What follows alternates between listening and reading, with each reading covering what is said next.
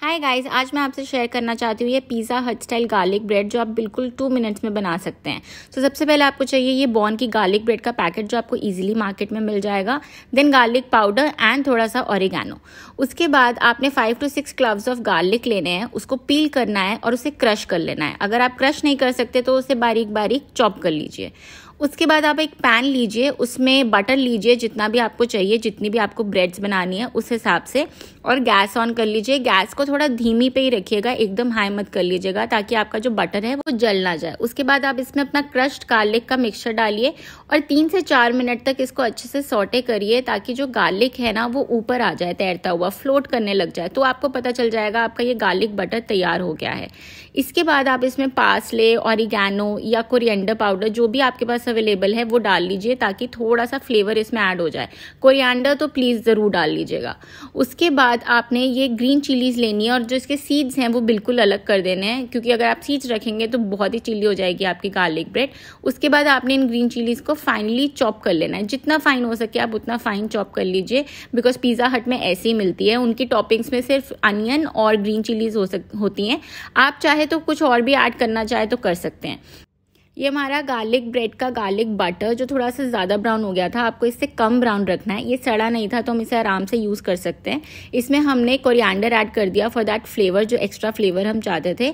उसके बाद हमने एक बाउल लिया है, उसमें अनियंस ऐड करे हैं और इसमें हम ग्रीन चिली ऐड करेंगे। यही टॉपिंग है जो पिज़्ज़ा हट यूज़ करती है। अगर आपको कुछ भी और ऐड करना है capsicum corns go ahead and add it इसके बाद हम इसमें कोरिएंडर ऐड कर रहे हैं और उसके बाद थोड़ा सा गार्लिक पाउडर ऑरिगेनो और चिली फ्लेक्स और हमारी टॉपिंग इज़ रेडी आप जो चाहे वो यूज़ कर सकते हैं अपनी गार्लिक ब्रेड की टॉपिंग के लिए.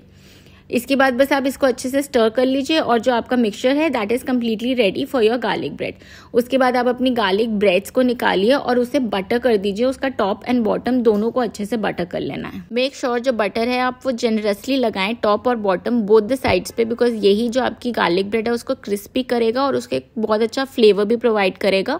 तो बटर लगाते हुए अगर कोरिएंडर आ जाए नो प्रॉब्लम लेकिन अगर मोटे गार्लिक के पीसेस आ रहे हैं तो मेक श्योर sure कि आप उसको डिस्कार्ड कर लीजिए। अगर आपको उनको खाना पसंद है तो आप खा भी सकते हैं बट मैंने उनको डिस्कार्ड कर दीजिए, कर दिया था।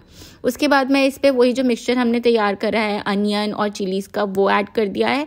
उसके बाद ग्रेटेड चीज़ ये grated mozzarella plus cheddar cheese है, जो पैकेट बार मार्केट में एज इट इज़ मिल जाता है तो बस आप उसे ऊपर से टॉप कर दीजिए लास्ट टॉपिंग ऐसे ही आप अपनी जितनी मर्ज़ी गार्लिक ब्रेड्स हैं, वो तैयार कर सकते हैं। जितना अनियन का मिक्सचर हमने बनाया है, उसके अकॉर्डिंगली हम easily eight to nine garlic breads ready कर सकते हैं। पहले वाली गार्लिक ब्रेड पे मैंने बहुत ज़्यादा मिक्सचर डाल लिया था तो इस पर मैंने थोड़ा कम डाला है बिकॉज़ जो pizza Hut style garlic bread होती है, उस पर जो अनियन का मिक्सचर होता है, वो बहुत थोड़ा होता है। बस उसके बाद ऊपर से चीज़ डाल लिया, वो तो सेम है। तो उसी मिक्सचर में से हमने नाइन गार्लिक ब्रेड्स तैयार कर ली। हमने कुछ पे थोड़े कॉर्नस भी डाल रहे हैं, ये हमारी एडिशन थी। उसके बाद बस हमने एक ओवन में उसे रख दिया, जो प्री हीटेड ओवन है। टॉप और बॉटम दोनों रॉड्स हैं जो आपको ऑन कर देनी है प्री हीटेड ओवन होना ज़रूरी है।